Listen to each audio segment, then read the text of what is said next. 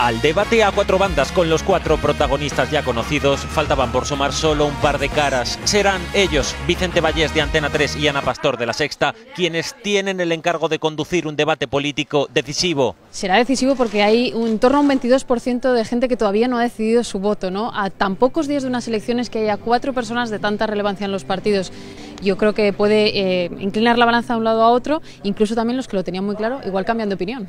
Y esa gente, esos son muchos españoles que van a ser decisivos en las elecciones y que están esperando a conocer los, eh, los argumentos de cada uno de los partidos que se van a reflejar en ese debate. En sus manos un reto profesional al filo de las elecciones generales, moderando un debate en el que Vicente Vallés y Ana Pastor van a trabajar juntos, no solo para dar la palabra y el turno a los políticos, también para lanzarles preguntas con un objetivo claro. Conseguir que sea un debate dinámico, que sea un debate flexible y que sea un debate que